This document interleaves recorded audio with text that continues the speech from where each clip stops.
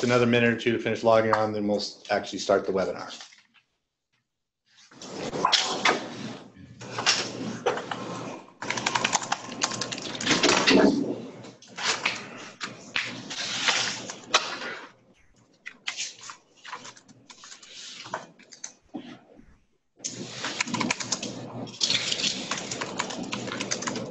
Okay.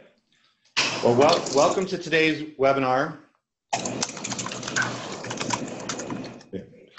This webinar is part of our efforts at the National Research Center on Hispanic Children and Families to build capacity in the field to help better serve Latino communities through our country. With that, I'll go over a few logistics for the webinar. If you have any technical questions, please submit them using the Q&A box at the bottom of your panel. And you can easily submit questions to our team because we'll have some Q&A um, later on in the session, and uh, we'll want to make sure that we are able to get your questions. This is, um, we'll, we'll queue them up at the end, given the time to try and address as many of them as possible. Um, and if you are a social media guru, uh, feel free to follow us on NRC Hispanic for discussion of the webinar and for the Hispanic Center in general. We have a number of speakers, so I'd like to take, take a moment and introduce them. First, myself. Uh, my name is Michael Lopez. I'm Vice President for Education and Child Development at NORC at the University of Chicago, and also co-principal investigator uh, for the Hispanic Center. I'll be moderating today's webinar. Next up is Nola du Toit, a senior research methodologist at NORC at the University of Chicago, and Nola creates data and information visualizations to help researchers shed light on analytic findings. And we also have Ned English, a senior research methodologist at NORC, um, also in our Chicago office. And uh, Ned is responsible for the geographic information systems capacity at, at, here at NORC, in addition to project management, sample design, analysis of, of numerous studies across disciplines. I mean, both are, are heavily involved in a lot of our data visualization work and um, some folks may know are, are, are one of the best known efforts of the recent opioid interactive map tool that's, that's one of the highlights of the data visualization work. I also want to take a moment to acknowledge some of the critical behind the scenes team. You can't see them here with me, but Rebecca Berger, um, Ana Leon Santos, Karina Hoyer, and Katarina Yang, who made us all look good in doing a lot of the background work. Um, now, just a few words, quick words about the National Research Center on Hispanic Children and Families. Originally founded in 2013 through a grant from the Office of Planning, Research, and Evaluation within the Department of Health and Human Services. The center's mission is to conduct research and provide research-based information to inform programs and policies supporting low-income Hispanic families and children around three major areas, poverty and self-sufficiency, healthy marriage and responsible fatherhood, and early care and education.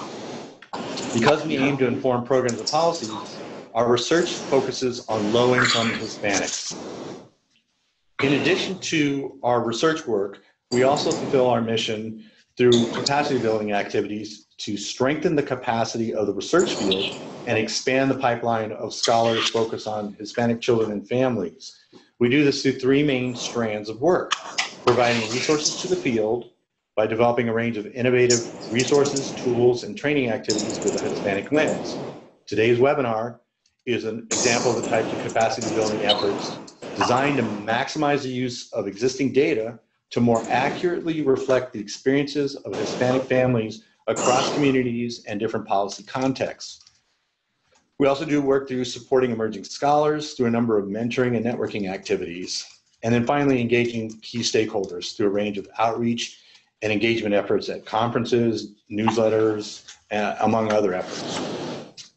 The center represents a partnership of research and academic organizations, including Child Trends, NORC at the University of Chicago, uh, Duke University, Duke um, Sanford School, and uh, University of Maryland and University of North Carolina Greensboro, along with our federal partners, the Office of Planning, Research, and Evaluation in ACF. Just a quick note that the views expressed here represent those of the center and not the views of the federal government. Before I hand it off to my colleagues, Ned and Nola, I'd like to provide a little context about today's visualization training.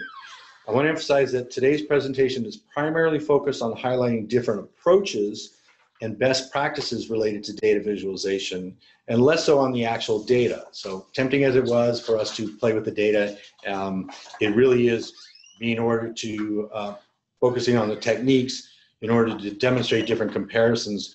We built in some of these illustrative examples related to examining low-income families in Chicago. And why Chicago? It's not just at Ned and Nola in Chicago, but back in 2017, um, one of the one of the efforts of the Hispanic Center, we examined the rates of early care and education programs, uh, participation in early care and education programs for low-income Hispanic versus non-Hispanic three and four-year-olds um, in Chicago. At the time, not only were, were our findings somewhat surprising, but they also raised additional questions about changes in the size and geographic distribution of the Hispanic families over time and how the ECE landscape has responded to these changes. So it prompted just as many questions as it answered. As you'll see from the examples, we use a combination for today, we use a combination of readily available data from the American Community Survey from the years 2012 to 2017, along with Chicago child care licensing data that we acquired thanks to a partnership with Illinois Action for Children. However, again, it's important to reiterate that while we include the storyline of low-income families with Chicago as an interesting backdrop, the main focus today is on the different data visualization techniques that can be used to tell different interesting stories with your data, depending on what your questions are. With that, I'd like to turn it over to Nola to dive right into the nuts and bolts of the data visualization training itself. Nola. Hi, everybody. Um, yeah, we're just doing a transfer. Oh, good. Um, all right, so the goals of today's visualization training is just we're going to discuss the components of a good data visualization. And this is a good place to start. Um, it doesn't matter what your data is or what your story is, you always want to keep these components in mind, and we're just going to discuss what those are. And then we'll delve into a little bit of storytelling with data, the maps and mappable, mappable data, and then Q&A. All right, so what are the components of good data visualization? We have primarily three. Um, the purpose, the purpose of the, the graphic, the purpose of the visualization, and the story that we want to tell. That's um, first and foremost one of the places that we want to start at. The next part that we want to consider is, of course, the audience. So we're not going to do the same graphic for all different types of audience, and we need to think about that before creating a graphic. And then there are just some best practices that I'll discuss that can help us create more effective graphics. So first of all, the purpose.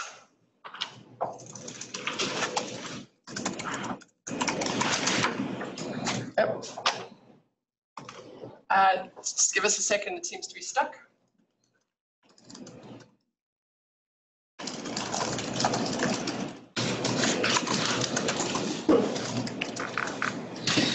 We're having just a little bit of technical moving. Oh, there we go. And of course, then the data is for, is um, something that we always want to keep in mind when we're working on a graphic because that is the most important thing of a data visualization. All right, so a little bit more about the purpose. What is the data story? What is the story that we're trying to tell? And we always want to think about um, different kinds of stories. So regardless of what the data is that we're using, we want to think about, are we comparing groups? Or are we looking at a distribution of the data across different groups or states or um, income groups?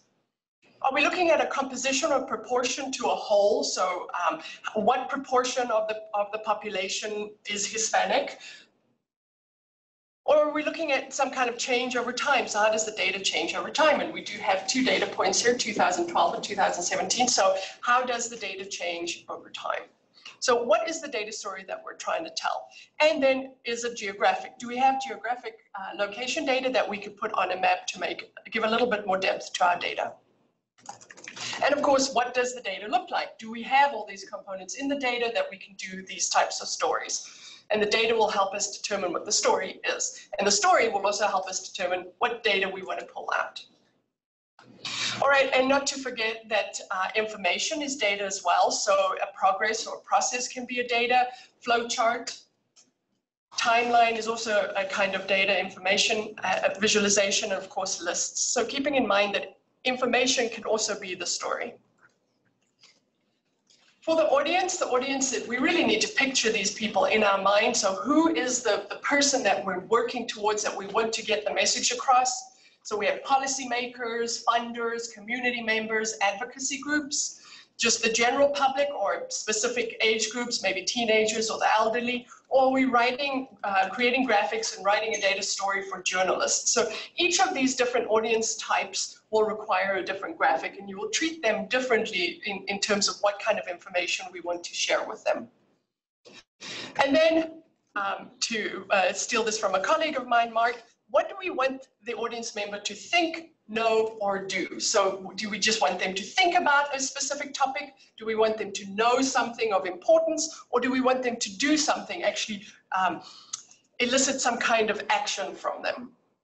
So raise awareness for an issue or garner support. And this will vary depending on if we're speaking to policymakers or the general public. What do we want them to think, know, or do?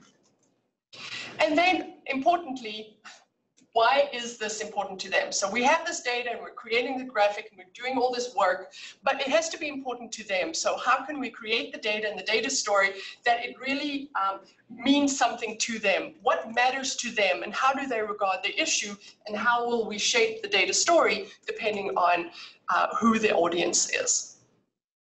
And then, of course, how much do they need to know? So the general population probably doesn't need to know your standard errors. Um, whereas perhaps policymakers or other researchers would need to need, uh, need to know more about the data or uh, the sample size and information like that. So how much of the data do they need to know? And then best practices, these are just some things to keep in mind as you're creating your graphics. First of all, the tools that you want to use. Um, there are many tools out there. We have Tableau, Excel, D3, R, and ArcGIS are just a few, to, uh, just to mention a few of them. And I know that in the survey that participants took before this um, before the webinar, Excel was one that really um, was very popular and R as well.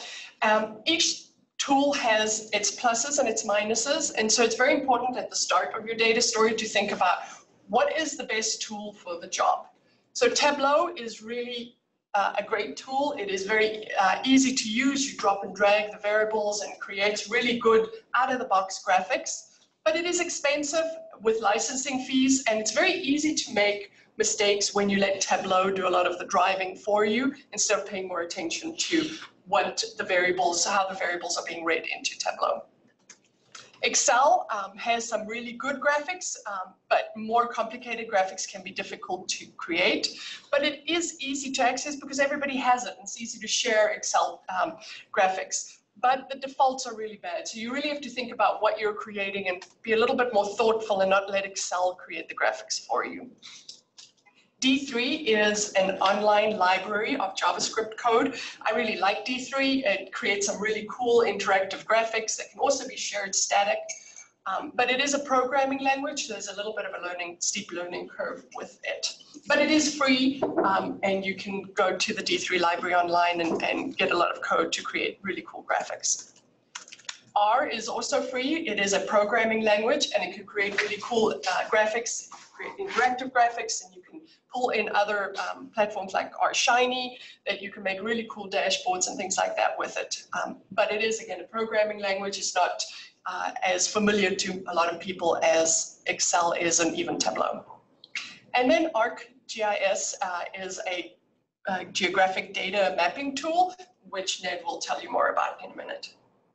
All right, so really figuring out what the tool is that you have at your disposal and what graphic you want to create is very important. And then keeping in mind that data going into all of these tools is going to be different, so um, bear in mind what your data looks like. Accessibility is another best practice that we should always keep in mind when we're creating graphics. Um, things like 508 compliance, Americans with Disabilities Act, being able to share your graphic with a lot of people is very important. So um, making sure that the font size is big enough. I recently worked on some graphics that was being shared for the AARP and one of the, that's for the elderly population and one of the requirements was large font. So um, making sure that the audience can read what you've created. Uh, color blindness is also an important thing um, to, to remember. A lot of folks are colorblind, Also, when you're printing in, in black and white, making sure that your graphics can be printed and still usable, even if it's printed in black and white. And then accessibility, uh, also in terms of where you're posting your graphics. Uh, a lot of graphics end up on paper, so it needs to just be a static graphic. Online graphics can be interactive. You can use HTML or JavaScript to create really interesting things. But obviously, those interactive graphics are not going to work in a paper report. Um, and then uh, do your graphics work? If it's online, does it work in a mobile environment?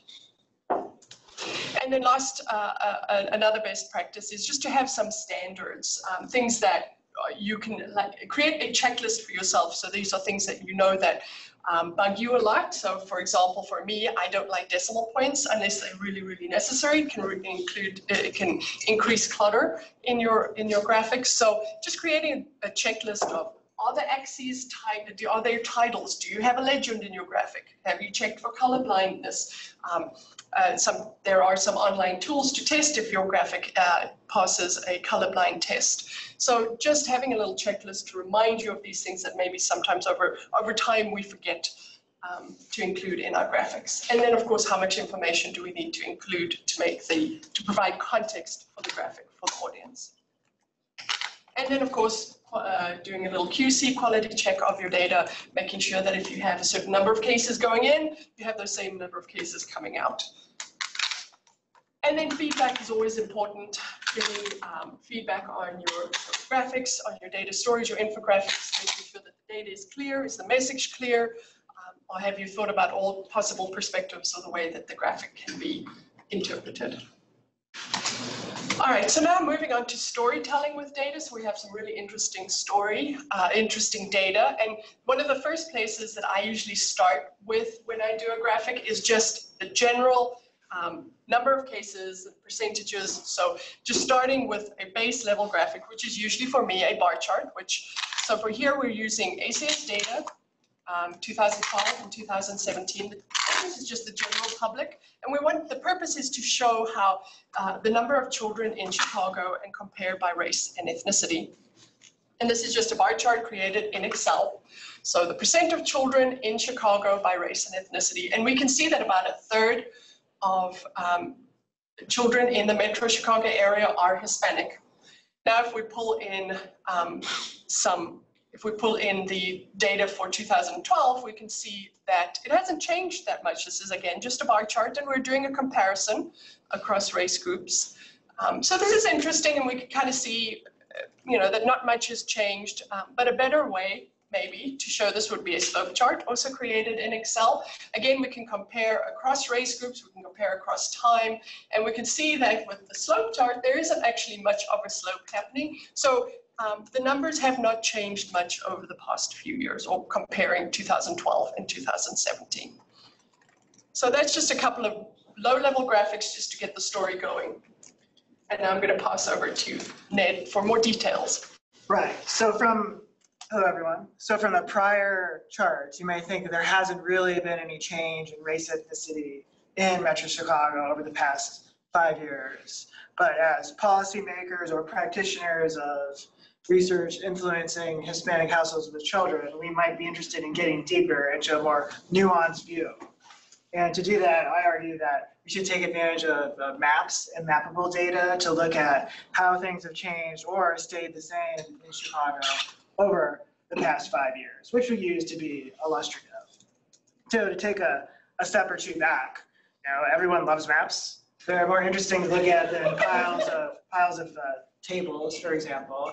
Why do we care about maps? We want to take advantage of spatial data. Um, the data that we have have some geographic quality to them or quantity to them, whether it's county or census tract or longitude and latitude. And we want to take advantage of that information that's extra or beyond the other attribute data that we have. So in social sciences, we don't have very many laws like there are in physical sciences that they made you learn about in undergraduate, but there is one, and that is Tobler's first law of geography, that all things are related, but near things are more related than far things. This is something that we implicitly, I think, understand as we consider social science quantities, that is poverty or educational attainment. Things change, but things change gradually. And also, there's lots of data out there. In fact, there's a fractal amount of data or infinite amount of data when it comes to geographic information. You can never capture every curve in a road or bend in a stream. For example, one needs to make selections when they capture or code geographic information. You can always add more decimal points, or sorry, digits to the right of the decimal point with a longitude and latitude. So this, that's enough cocktail party conversation probably. But GIS, an acronym we hear a lot about, are the tools and techniques for the management and analysis of spatial data. So how do we take advantage of these geographic information? It's preoccupied with representing geographic data in a database. So how do we tell a computer where all these things are and how they relate to each other? Cartography, another vocabulary word you might have heard before, deals with the presentation of those spatial data. So how do we make effective maps to convey some information? I guess those two get blended together, but cartography is more concerned with presentation. But what's special about GIS? Well, as I mentioned earlier, it enables us to take advantage of these spatial relationships. The Latino households are clustered together in some way, differed from another category of households, or the distance from Latino households to the nearest childcare facility is, is distinct from another group. We need GIS to answer these kinds of questions we, this is beyond what we have time to discuss today, but GIS also enables a spatial analysis or spatial statistics, the whole field of spatial statistics to understand spatial relationships related to distance or hot spots, cool spots, issues like this. Essentially, we'd like to add a third dimension to statistical problems that you couldn't really capture in your standard statistical software package like using SAS or SPSS conventionally, it's not possible to select all the households that geocode in a particular neighborhood, for example. That's beyond the scope. Um, because those data are not explicitly coded in the data set, they're really implicit information. One doesn't really need software to do GIS. I think our friend, I mean, maybe you've seen this map before of John Snow's cholera map. Here we have a geocoded pump layer. There are two pumps. One, they're both indicated by the uh, arrows here. One is near a cluster of cholera cases and one is not. So he's intersecting two layers together, that is geocoded address information, geocoded addresses that had at least one reported cholera case in order to pursue a policy goal, which in this case was to shut down a particular pump in London. This is before concerned with non-reusable plastic bottles, probably. But so this is GIS because we're intersecting more than one geographically coded layer together and considering a geographic quantity that is distance, I think. Now, there are many software packages for us to consider should we not want to do it this way. I mean, ArcGIS, I would say, is like the Microsoft of geographic information systems because it's everywhere and kind of expensive and does most of what he wanted to do. And, however, there are many others. Um, ArcGIS is made by a company called ESRI, which stands for Environmental Systems Research Institute, and it was designed for that sort of thing. So if we're going to model soil runoff from a pasture, or conduct a in real and more environmental analysis. And so there's another software package called MapInfo Professional that's more in the business space. However, um, we use both in our social science world, I would say. But then for geographic data processing, like if one were doing, say, analysis on high resolution raster data from satellite images, or wanted to pick out information in satellite images that are or is a software package that's good for doing data processing. But there are many others. They're free software packages like QGIS or Geoda that have other options. So, but I think that when it comes to GIS software, ArcGIS is clearly the the market leader and can do nearly all of what you want it to do. However, it's not the only software package.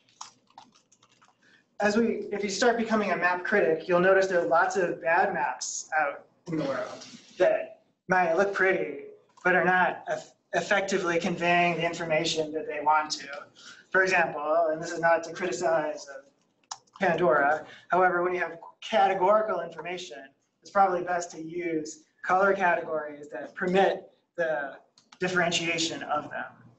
But this is not a range. The top song in a given state is not a member of a range, it's a member of a category, for example. So I just, we could spend all day talking about ineffective maps, so perhaps instead, instead, I think we'll talk more about how to design effective maps to study the policy related to Latino households with children. Before we do that, I'd just like to describe some common applications of GIS in the social sciences. I think the most common is to look at data presentation through maps. Most often, what are known as choropleth maps that I'll get to momentarily. So I'm showing a statistical surface, essentially. We also use GIS to create new data layers, link disparate data sets together, and so that addresses don't automatically know what census tract they're on until you link those two data sets together, for example. And then in order to discover patterns related to geography, density, density or dispersion. So choropleth maps are in the instance where we'd like to map a statistical surface. So we have a quantitative attribute, say the percentage of low-income Latino households with children or share of individuals in different race ethnic categories by area, like census tracts or counties or the unit in which they're reported at. So choropleth maps portray a statistical surface with area symbols, and the data coincide with the data collection regions. This is known as lattice data, like a fence lattice. We use choropleth maps because it doesn't make sense to report what's the median household income per square mile. Because people are not arranged evenly across space, like temperature or environmental factors. However, we are stuck with the reporting units. This is a map of counties in the United States. I show this to emphasize how they're different sizes.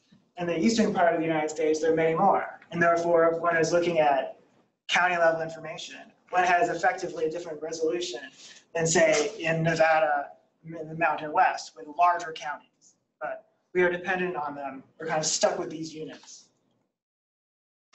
Just very briefly, if there's a whole world of map design, but when considering designing maps, I would suggest we think about the size and shape of unit areas.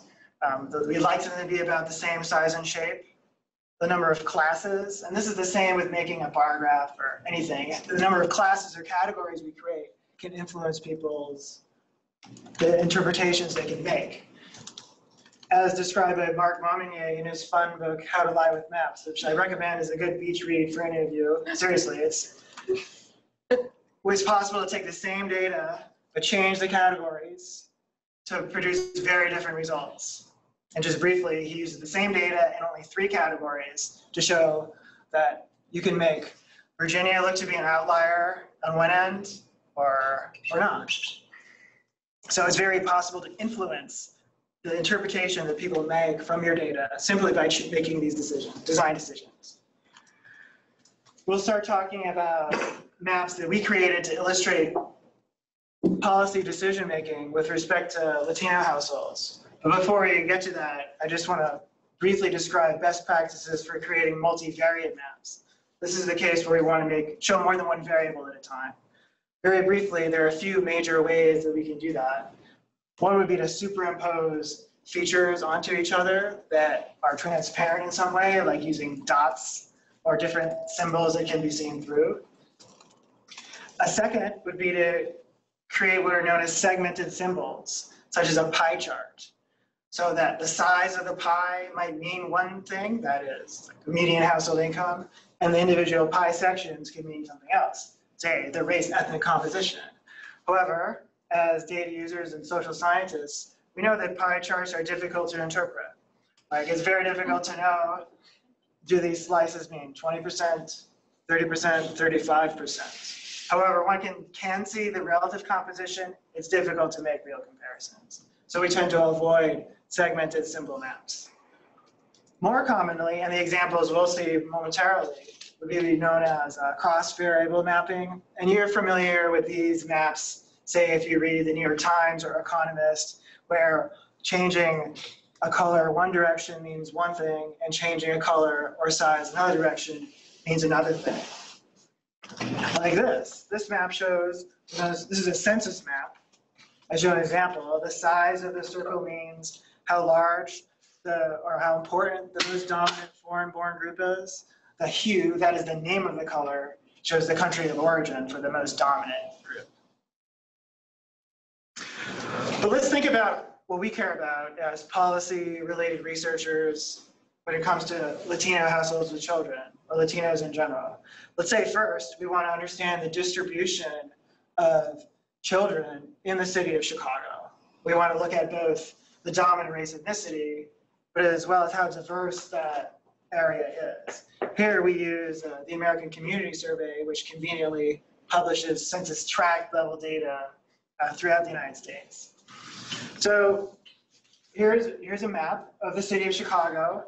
The black outline is the city boundary, whereas the gray outlines show individual census tracts. Census tracts are the units in which the data are reported, about 2,000 households.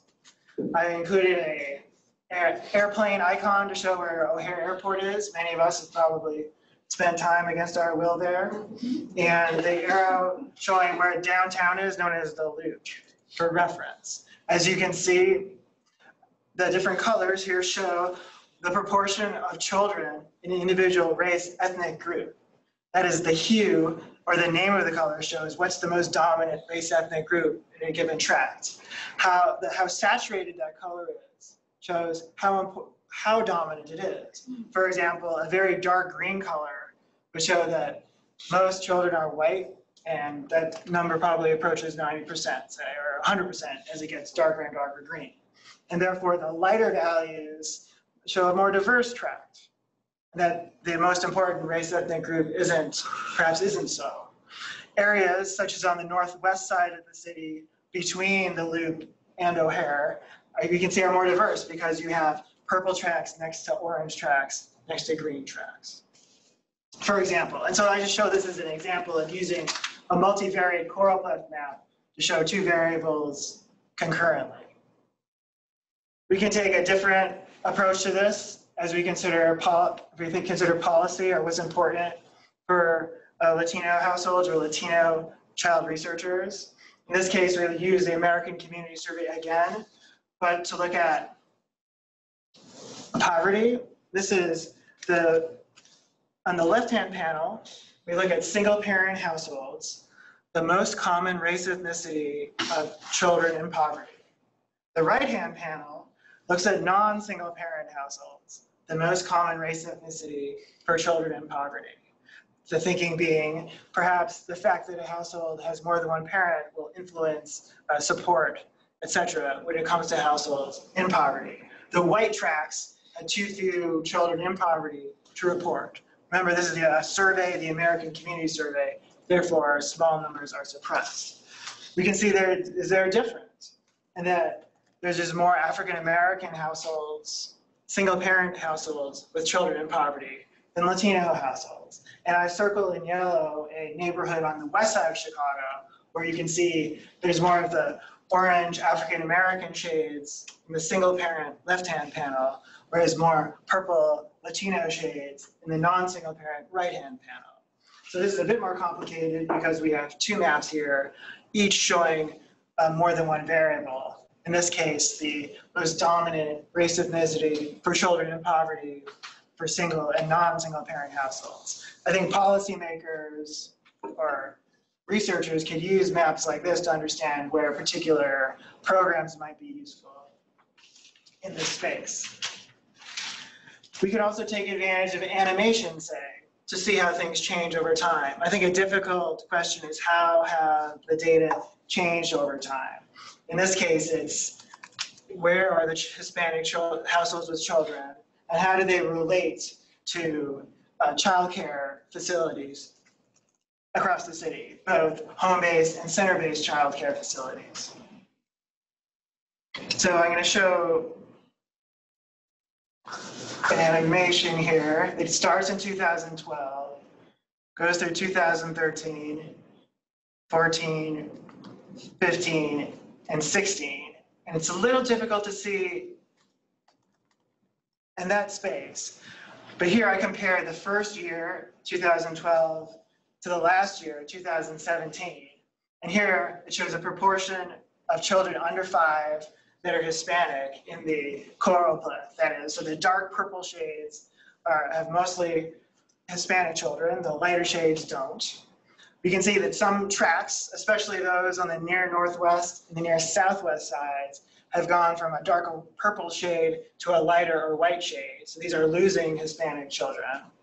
The geocoded dots show home-based care and in blue and center-based care facilities in orange. The thinking being have, or the question for us, our researchers, have the home-based or and center-based childcare facilities followed the movement of Hispanic households with children. Now, this may be a lagging indicator, it may take time for, even if a neighborhood is changing and losing Hispanic households with children, it might take time for the childcare facilities to fill in. I think these maps also show that the more Hispanic census tracts tend to have more home-based childcare than center-based care, which tend to be in more white, non-Hispanic parts of the city. But I also circle a neighborhood in the near southwest, known as the Pilsen neighborhood, that if you're interested in the housing, or I should use the G word, the gentrification space has seen a, a rapid change. I zoom into the Pilsen neighborhood, and essentially what you see, the left-hand panel is percent of households with children that are Hispanic in 2012. The right hand is 2017. Just tracts that have gone from dark purple to white because um, Latino households with children um, have been moving uh, further south and further west. Now, it's still somewhat difficult to see the places that have changed. And so finally, we can create a map that focuses on the change itself. And here what we do is we categorize a census tract in 2012 based on what quintile was it with respect to Hispanic households with children. So did it have a low, medium, or high rate, rate or share of household, Hispanic households with children in 2012 and subtract that from the same quintile in 2017. So essentially want to highlight tracts, do they move up or down in that hierarchy across time? And this map so here the blue tracts move down. So they went from having more Latino households with children in 2012 to having fewer in 2017. So there we're seeing a loss. The red tracts show a gain. They went from fewer to more. The number here is how many categories did they shift on those maps. Those maps had five categories. So the maximum you could move was down five or up five. So this, this map shows the difference between those two. And I think what it's showing is the blue tracts where in the city of Chicago, where we're losing Latino households with children, tend to be a ring around the downtown area, especially convenient to transit, accessible for younger people, primarily areas that have seen increases in housing costs since the recession areas that have seen increases in Latino households with children tend to be more on the periphery with some exceptions. But generally speaking, I would break it down to further out to, to entering, entering. Why do we care about this? Well, I think uh, policymakers or researchers could use these data to really target their programs. So for example, if you work with households with children or Latino households with children, is I think it's important to know where our target population is moving so that we can focus our programs in these places. In fact, perhaps to anticipate other places where might see changes or gains in Latino households with children.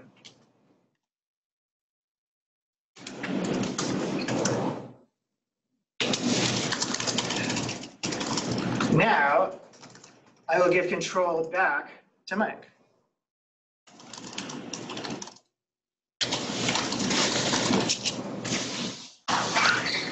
Thanks, Ned, um, and, and Nola. Um, that was great, and I think that we, um, we were joking beforehand, I'm gonna make Ned an honorary Hispanic Center, um, researcher. Um, since he's not only mastered his data visualization, but also has, uh, done a great job with, with the interpretation within the, the Hispanic Center framework. Um, we've had a number of questions that have come in. Please feel free to continue, uh, submitting some questions, but we're going to, um, open it up, and I think Ned and Nola, there are a number of questions that are on the technical end.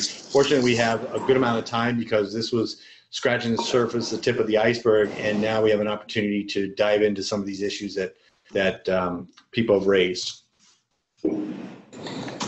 Then, um, can, Karina has, should have the questions.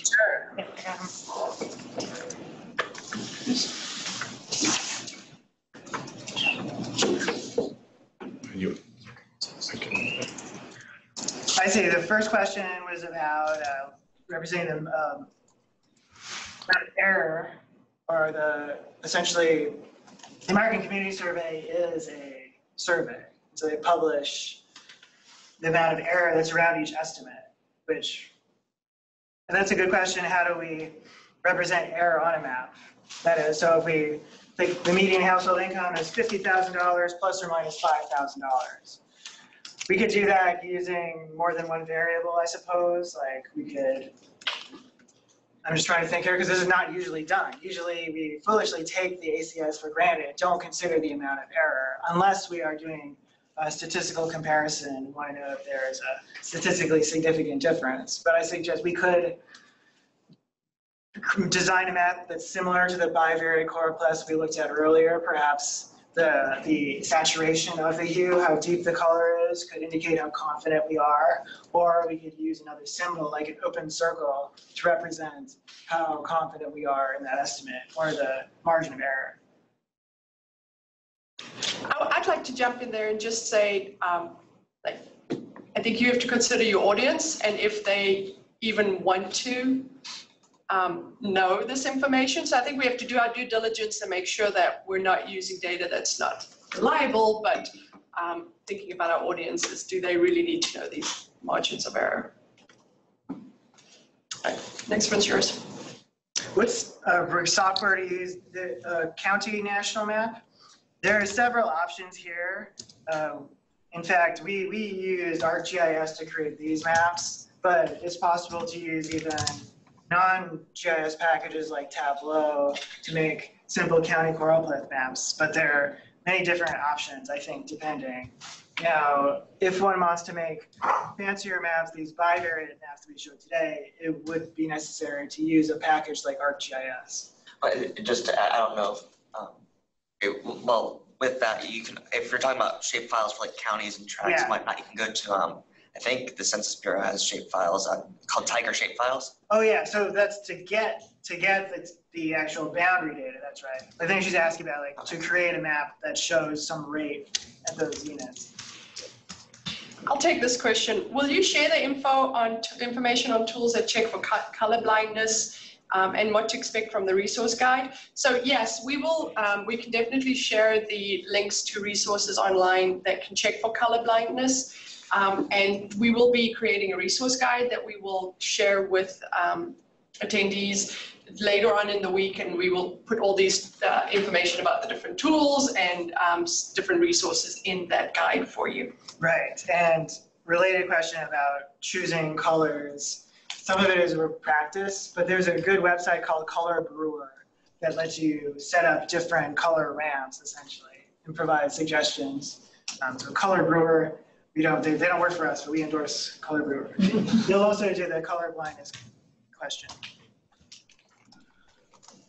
And I'm going down.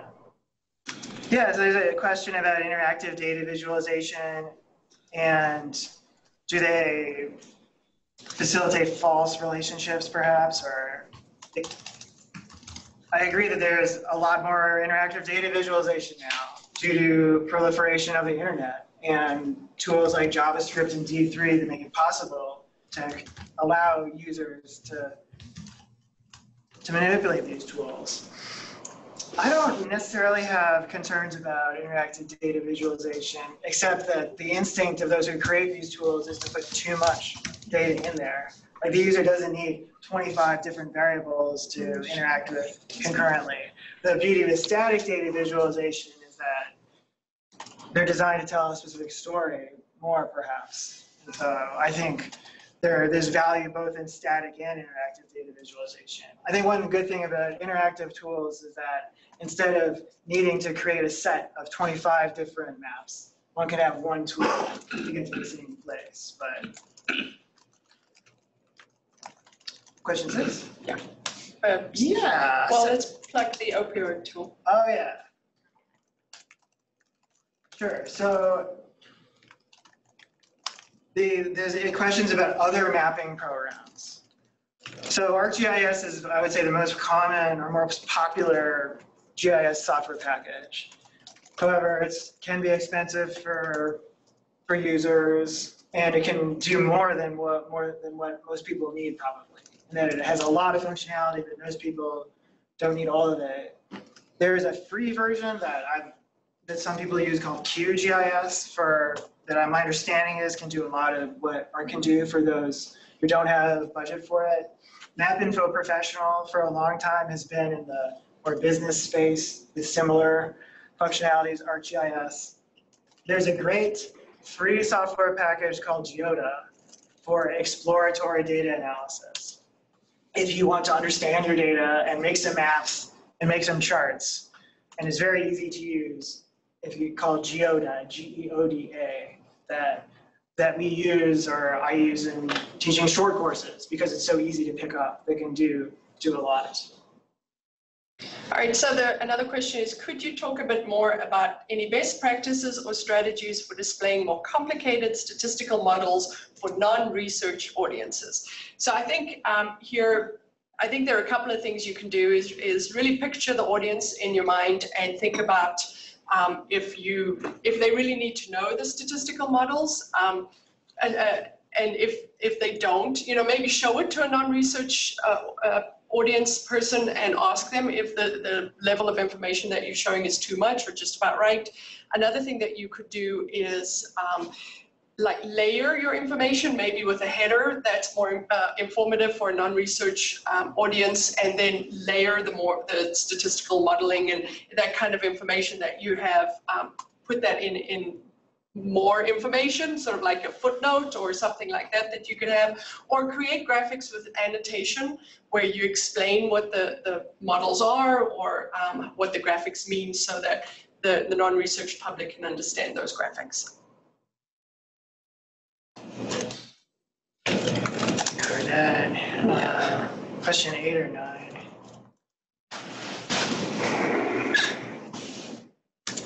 Uh, all right. Um, will you be talking about any other approaches or software for data visualization besides mapping examples? So yeah, we can present present more information um, on on different tools. Uh, we just briefly touched upon the the pros and cons of each of the tools, but we can include links with more information and some handouts. Um, to other tools that, that could be useful as well in the in the resource that we'll send out later this week. Nolan, Ned, can I, um, can I kind of build on that? Because I, I think as we were talking about some of the different options and the range of options, Nolan, you did a nice job of, of talking about some of the different factors. But when you, when you think, when you think about what is the question that I am trying to ask and answer, um, how does that help guide what approach to use, whether or not to use a, a, a spatial mapping or to use another type of data visualization. What's when you think about that? How do you usually approach that? Because that's kind of you, you threw a lot of stuff out there for me, and and I, I think about what how am I going to make a decision of of R or ArcGIS or, or some of the others, and so maybe you can touch on that a little bit. Um, so I think it goes back to one of the first graphics I showed, which was, are you looking at comparison or distribution? So I think once you nail down what the relationship is that you want to show in the data, um, then when you pick a tool, that's what you feel most comfortable with. When I look around the room, I see people who use Excel, people who use um, R, D3, Tableau, um, just what you have access to and what you feel most comfortable with. Um, I personally move between between tools depending on what I have to do. So if I'm just doing something quick and dirty and I want to really explore with the data, Tableau is really good for that because you could just drop and drag um, across the user interface and create graphics. If I have to do something that's replicable that I'm going to create for a report that has to be produced every month, I'm going to use something that uses a programming language like R, because then I could just change the variable name or point it to a different data set. Um, and that's going to be something that I can reproduce each month or each year or whatever, um, if that has to happen. Um, I'm trying to think, uh, also the platform that it's going for. If I'm creating a static graphic, most likely going to work in Excel and Tableau um, because that's the easiest way to create static graphics. And if I'm going to create something interactive, I won't use those tools. I will use R or D3. If it's going online, I'm going to use D3 because it works really well with HTML and can be really flashy. Um, but if you want something really simple, uh, you know, you really have to, it, it's sort of, you start with exploration. What tool do you get to explore the data and better understand the data in? And for me, that's usually Tableau um, and starting to be more with R. Um, but if it's going to be something that I share with others, I'm going to work in Excel because then they can access it. So you really have to think about um, like your, the whole process of what you're doing and who you're working So- with. So then a follow-up question related to that. I'm, I'm new to all the data visualization, which is actually true. And I know, and I know I, I have the benefit of being able to pick up the phone and call the two of you. But if I'm new and I'm trying to learn some of this, what would be, there's a lot of options. And yes, it depends on, you know, some of them I may be more comfortable with others. But if I had to pick two or three just to kind of put in my toolbox, which would be the two or three not, this is not a- intended to be a commercial, but what would be the two or three that you think would provide enough versatility as a, as a newbie? as a newbie. Um, I, I would, if I could go back five years to before I knew all these programming tools, I would invest my time and energy in R and D3 um, because I think that's the way that the world is moving. I know that we focus a lot on Tableau, and I think Tableau is very useful for people who want to create the one-off graphics. I think if you're if you're going to work in data visualization every day, all day, I think you should focus your energy in R or, or D3 and or D3. Um, if you're going to just want to create a good graphic for the odd report, then I would learn Tableau. Because Tableau's graphics are really good, the defaults are really good. You can create a really good graphic just within a couple of minutes um, without doing a lot of work. Whereas with uh, if you're going to be doing this every day, the investment in learning R, uh, I, I, I really wish I could go back in time and, and learn that um, three or four years ago. Does that help? That's great. Well, But and, as- and, go ahead. Sorry. So, but, but if I was at an organization, I would, and I knew a lot of people were creating graphics, I would promote Tableau. Um, I know it costs a lot of money, but the default out of the box graphics are just so much better than Excel. And it's so much easier for people to create really, really good graphics for the folks who don't do it every day. And then I know that, I know that um, Ned, actually both you and Nola do a lot of data visualization um, courses or, or presentations at, at different universities. I- And I've heard that more and more people are embracing this, not only kind of students and emerging scholars, but also those in the program practitioner world that are realizing, hey, we need better ways to, to um, help harness and display our data in visually appealing ways. So how is it that uh, people who are may not necessarily want to do it themselves, but who like I might be working at a state childcare agency or or you know a, another organization. How how do I best go about finding resources if I'm not going to do it myself? But how do I find ways to be, you know get some data visualization BFFs um, so that I can utilize that th- these approaches? Contact us.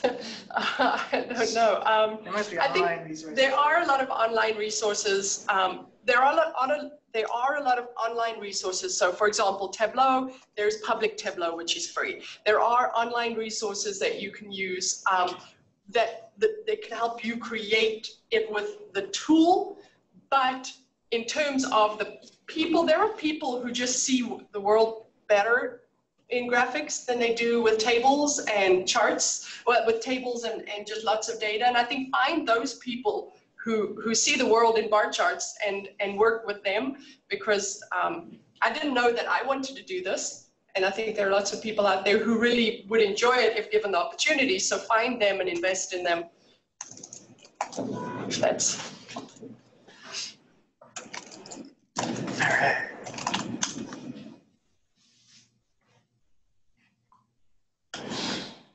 Questions here. yeah. Okay. Change. Oh, data data security. Yeah, data, the question about data security, yeah, that's always an issue. So the data we showed were mostly from the American Community Survey. That's already been really, they've done disclosure review. So it's not possible to identify individual households on the American Community Survey data.